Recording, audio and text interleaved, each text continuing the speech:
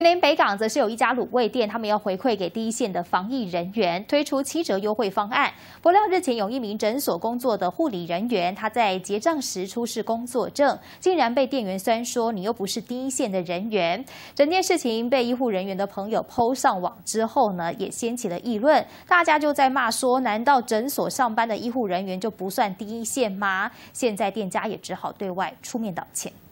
接近用餐时间，卤味店员工忙着备料，准备开门做生意。防疫期间，店家为了感谢防疫人员的辛劳，贴出公告，只要出示工作证，可享七折优惠。不过，却遭网友在脸书吐槽，痛批业者假好心。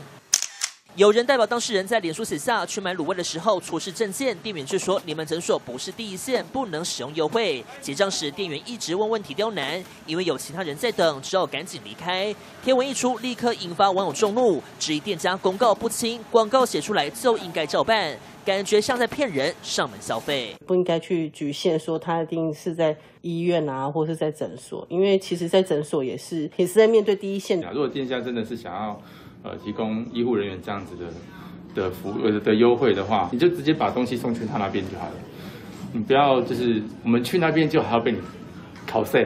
售店家也回复网友以一致歉，强了会再加强员工训练。是我们员工自己不对啊，啊，对啊，对。所以之后我跟员工在那边说，以后如果遇到这些事情，如果有出示证件，就是给他。防疫期间，店家体恤防疫人员的辛劳，推出优惠，疑似标准没说明清楚，造成员工与顾客误会。店家强调，未来只要出示证件就会打折，不让最初的美意变成恶意刁难。谢国监狱林参不到。